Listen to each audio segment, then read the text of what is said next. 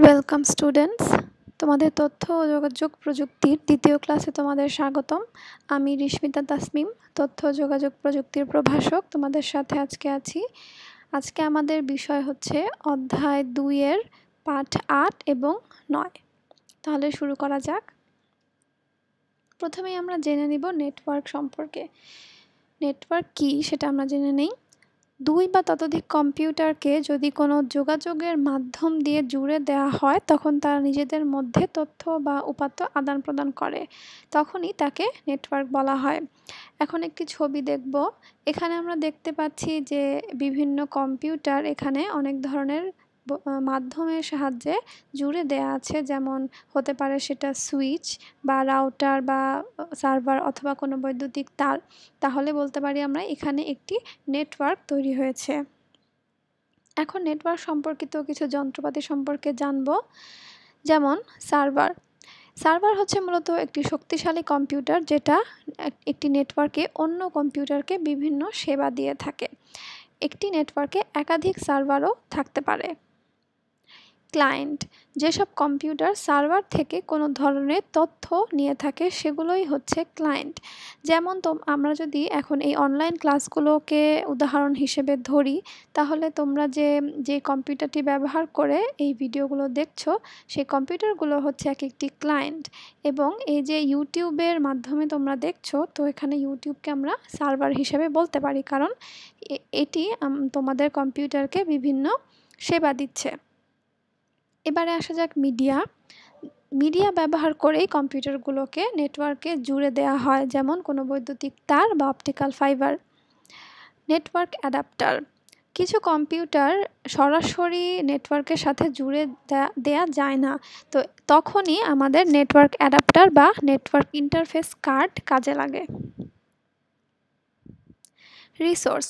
ক্লায়েন্টের কাছে ব্যবহারের জন্য যেসব সুবিধা দেয়া হয় তার সবই রিসোর্স যেমন এই অনলাইন ক্লাসটি বা এই ভিডিওটি হচ্ছে একটি রিসোর্স ইউজার সার্ভার থেকে যে ক্লায়েন্ট রিসোর্স ব্যবহার করে, অর্থাৎ এখানে তোমরা এই ভিডিওটা দেখে উপকৃত হচ্ছ, তাই তোমরা হচ্ছ ইউজার প্রোটোকল এক কম্পিউটারের সাথে অন্য কম্পিউটারের যোগাযোগ করার জন্য যেসব নিয়মকানুন মেনে চলতে হয়, সেটাই হলো প্রোটোকল যেমন ইন্টারনেট ব্যবহার করার জন্য প্রোটোকল হচ্ছে হাইপার টেক্সট ট্রান্সফার প্রোটোকল সংক্ষেপে যেটাকে এইচটিটিপি বলা হয়, তোমরা খেয়াল করবে ইন্টারনেটে যখন কোনো ওয়েবসাইটে তোমরা প্রবেশ করো, সেই ওয়েবসাইটের অ্যাড্রেসের শুরুতেই এই এইচটিটিপি কথাটি লেখা থাকে। নেটওয়ার্কের প্রকারভেদ। জুড়ে দেওয়া কম্পিউটারগুলো অবস্থানের উপর ভিত্তি করে নেটওয়ার্ককে চার ভাগে ভাগ করা হয়েছে। অর্থাৎ একটি নেটওয়ার্কের পরিধি কতটুকু বা কতটুকু পরিধি জুড়ে সে নেটওয়ার্কটি আছে, এটার উপর ভিত্তি করে নেটওয়ার্ক চার রকমের হয়।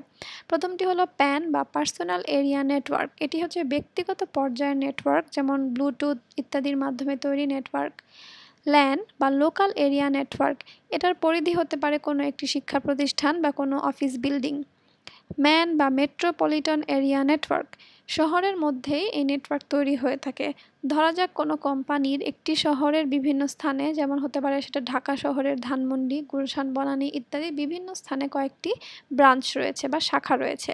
এদের মধ্যে যখন কোনো কম্পিউটার নেটওয়ার্ক তৈরি হবে, সেটি হবে মেট্রোপলিটন এরিয়া নেটওয়ার্ক। ওয়ান বা ওয়াইড এরিয়া নেটওয়ার্ক। দেশ বা পৃথিবী জুড়ে যে নেটওয়ার্ক তৈরি হয়, অর্থাৎ পুরো বাংলাদেশের ভেতরে বা বাংলাদেশের বাইরে অন্যান্য দেশের সাথেও যে নেটওয়ার্কটি, সেটি হচ্ছে ওয়ান এখন আমরা জানব টপোলজি সম্পর্কে। নেটওয়ার্কের কম্পিউটারগুলো জুড়ে দেওয়ার বিভিন্ন পদ্ধতিকেই নেটওয়ার্ক টপোলজি বলে। এখন আমরা বিভিন্ন প্রকার টপোলজি সম্পর্কে জানব।